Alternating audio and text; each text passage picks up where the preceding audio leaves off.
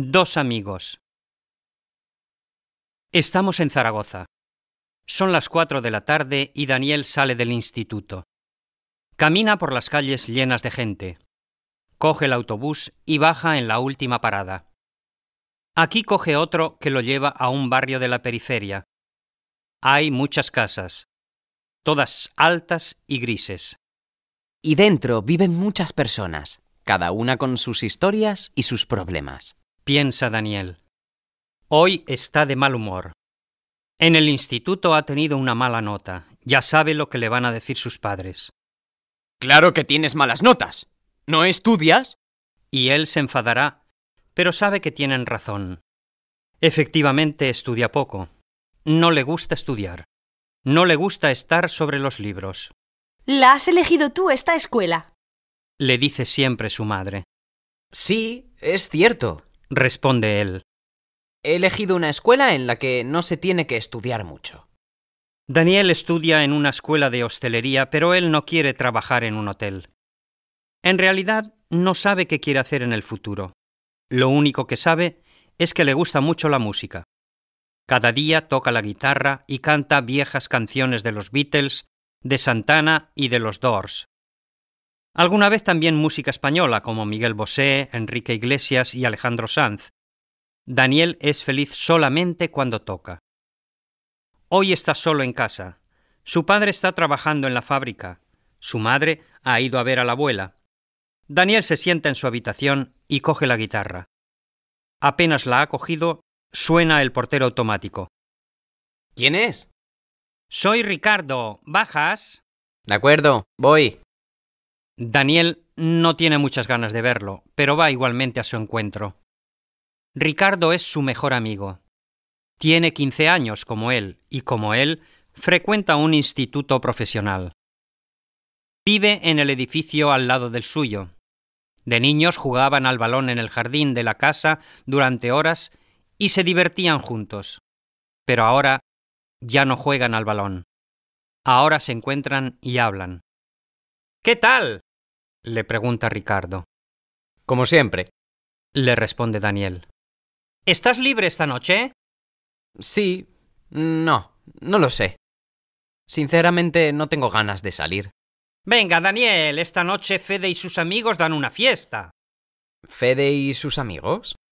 ¿Desde cuándo sales con ellos? Desde hace unas semanas, ¿no lo sabías? No, ya sabes que no me gustan. Son unos criminales. ¿Criminales? No son unos criminales. Lo que pasa es que saben cómo divertirse. Sí, únicamente que para ellos divertirse significa ir por la ciudad rompiendo cosas y robando. Divertirse quiere decir no aburrirse como nos aburrimos nosotros. Yo estoy harto de esta vida. Cada día voy a la escuela y detesto estudiar. Al acabar, ¿sabes qué puedo hacer? El mecánico. Y yo no quiero hacer el mecánico. Lo que yo quiero es tener dinero y divertirme. Pero... intenta decir Daniel. Ricardo lo interrumpe. Con Fede y sus amigos puedo hacer lo que me da la gana. ¿Te diviertes realmente? ¿De verdad te gusta salir con ellos? Sí, claro. Entonces, ¿quieres venir a la fiesta esta noche? No, no quiero. repite Daniel. Esta noche me quedo en casa y toco.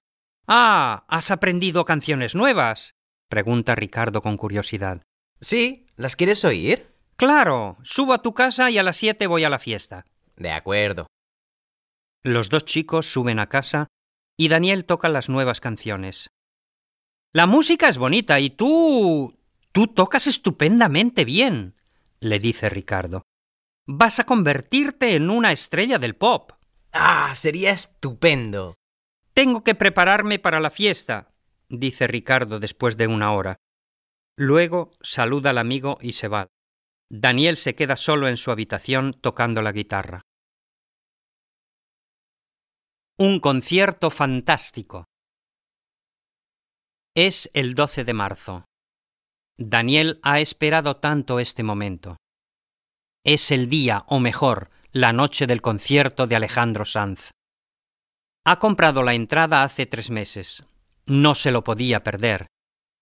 Irá con Ricardo y Javier, un compañero de clase de Ricardo. El concierto es en el pabellón de deportes Príncipe Felipe y hay muchísima gente. Daniel se pone cerca del palco, así puede ver mejor a su ídolo. En cambio, Ricardo dice, Cerca del palco hay gente y la música es demasiado alta. Yo me quedo con Javier.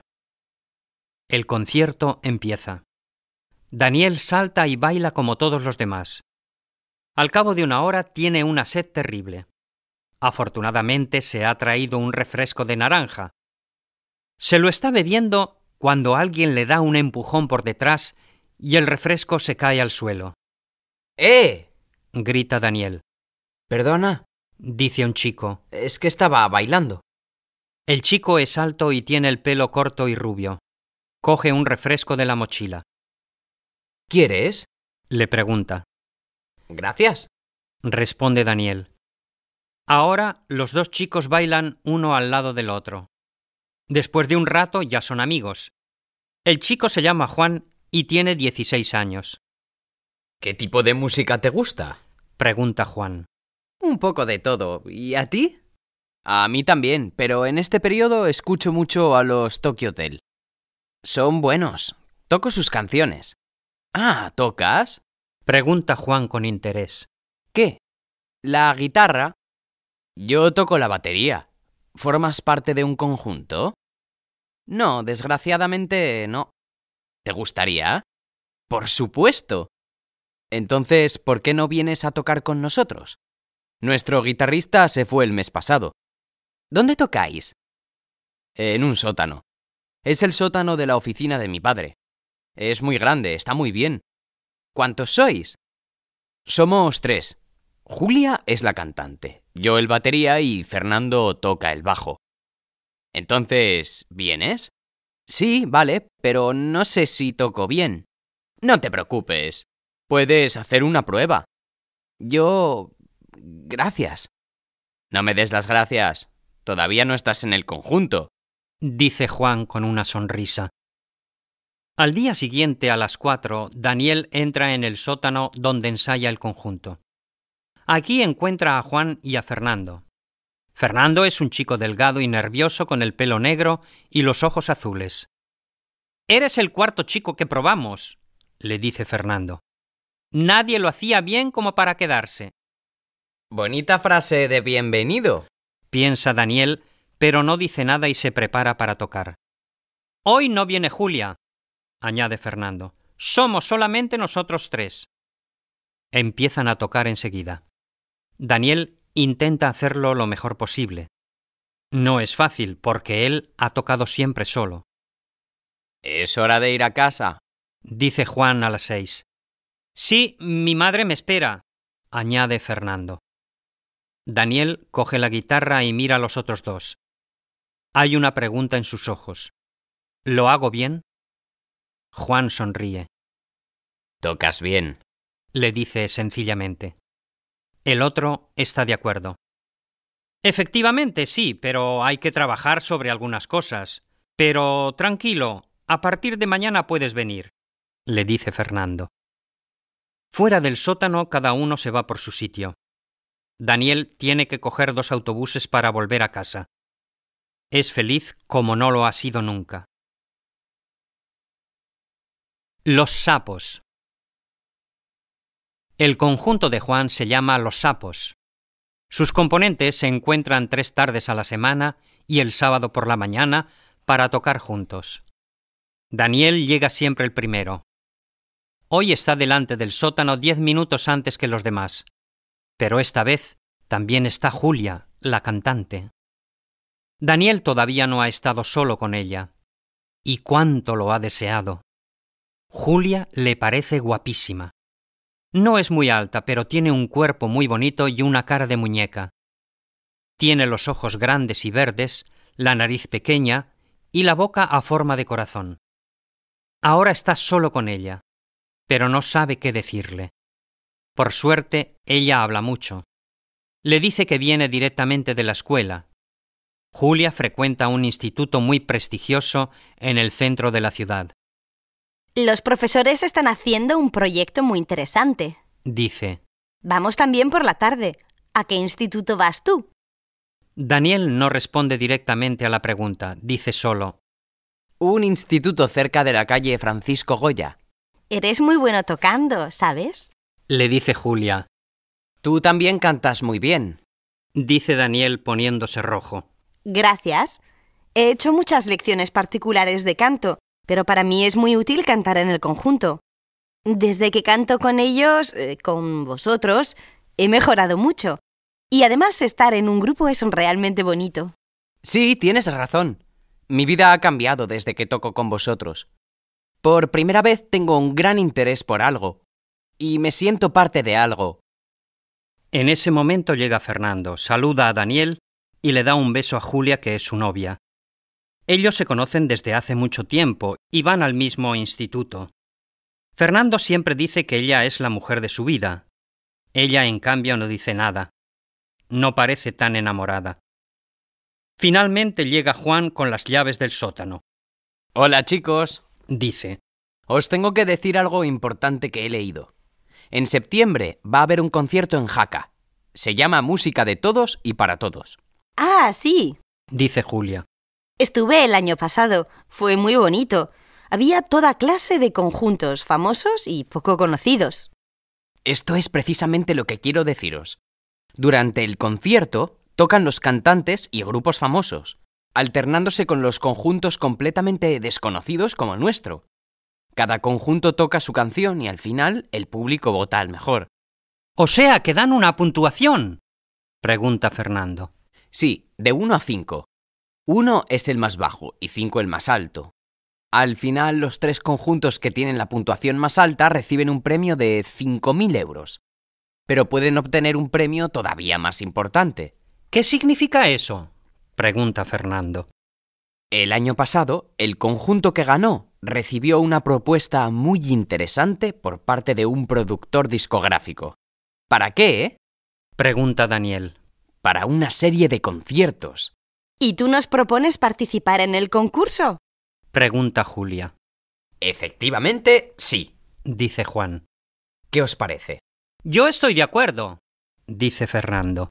También nosotros. Dicen Julia y Daniel. Están muy contentos. Es una buena idea, pero Juan advierte. Prepararse para un concierto no es una broma.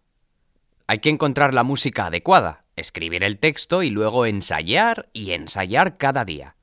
En resumidas cuentas, se trata de un grande, grandísimo trabajo. Tenemos todo el verano. Dice Julia. Casi todo, le corrige Fernando.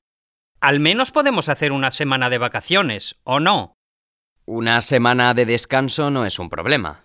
Dice Juan. La música ya la tenemos. Como sabéis, Fernando es buenísimo escribiendo música, y en estos años ha escrito decenas de canciones.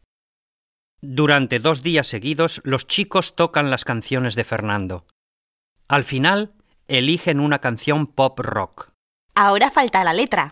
Dice Julia. ¿Puedo escribirla yo? Julia escribe poesías, dice Fernando.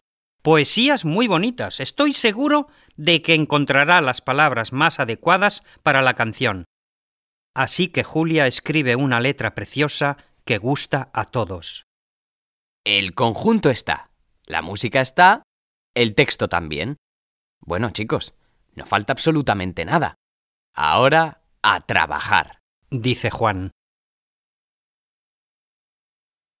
Encuentros. Es un domingo por la tarde del mes de mayo. Daniel y Ricardo están paseando. Hace más de tres semanas que no nos vemos, dice Ricardo. Lo siento, he estado muy ocupado últimamente. Queremos participar en un concierto con el conjunto y estamos tocando muchísimo. Además, tengo que estudiar para el instituto. Tengo que aprobar a toda costa. Son solamente excusas. Ya no nos vemos porque ahora tienes nuevos amigos, dice Ricardo. Por lo que veo, tú también. Daniel señala a tres chicos. Van en moto y están llamando a Ricardo. Esos te llaman a ti, ¿no? Sí, son Fede y sus amigos. ¿Quieres venir con nosotros? ¿Qué hacéis? Mm, No lo sé. Seguramente vamos al estadio. Formamos parte de un grupo de hinchas. Entonces, ¿quieres venir? No, gracias, Ricardo. ¿Nos vemos mañana? No lo sé. Te llamo yo. Ricardo va con los tres chicos y monta en una potente moto de uno de ellos. Daniel vuelve a casa. Toca la guitarra y piensa en Ricardo. Han sido amigos durante más de diez años, pero ahora, cuando está con él, le parece un extraño. Se siente triste. Le gustaría hablar con alguien, y este alguien es Julia. Ahora la llamo. Dice entre sí. Luego se pregunta. ¿Y si está con Fernando? Él es celosísimo. A lo mejor se enfada. Pero puedo decir que necesito algo. Por ejemplo, puedo decir que quiero comprar una guitarra nueva o no sé. Daniel marca el número de Julia. Hola Julia, soy Daniel. Hola, Daniel. Dice ella y parece muy contenta. ¿Estás con Fernando? No, ¿por qué? ¿Querías hablar con él? No, absolutamente no. Quiero decir que... Quiero hablar contigo. ¿Conmigo? Ah, bueno, eh, creo que... Se nota que Julia tiene vergüenza. Ninguno de los dos sabe qué decir. Al final, Daniel decide intervenir con coraje. ¿Qué te parece si... Quiero decir, o sea, si nos vemos? Sí, o sea, sí. Sí, o sea, sí... ¿Quiere decir sí? Sí, con mucho gusto. Estupendo. Salir con Julia. Increíble. Piensa Daniel. Al cabo de media hora está con ella. Van a un bar y toman una taza de chocolate con churros. Después dan un largo paseo por el centro de Zaragoza. Hablan de música, del grupo, de su vida. Daniel piensa. Julia no solamente es muy guapa, sino también inteligente e interesante. Y Julia piensa exactamente lo mismo de Daniel. Lo piensan, pero no lo dicen. En estos casos no se dice lo que se piensa. Daniel acompaña a Julia a su casa. La saluda y se va. Ha dado solo algunos pasos cuando ve a Fernando. Va hacia él. ¿Qué haces aquí? No tienes que salir con mi chica, le dice Fernando mosqueado. Pero si no hemos hecho nada malo. Somos solo amigos. ¿Solo amigos? Sí, solo amigos. Bueno, te creo. Eres un buen chico, pero no quiero veros juntos otra vez. Daniel no responde. Se pone colorado y se va casi sin saludar. Se siente emocionado, pero también un poco incómodo. Debajo de la casa de Daniel están Ricardo, Federico y otros chicos. Ricardo está sentado en una moto. Hola, Ricardo. Lo saluda Daniel. ¿Es tuya la moto? Claro que es mía. ¿Te gusta? No entiendo mucho de motos, pero me parece muy bonita. Bonita y cara. Pero tu madre no quería comprarla.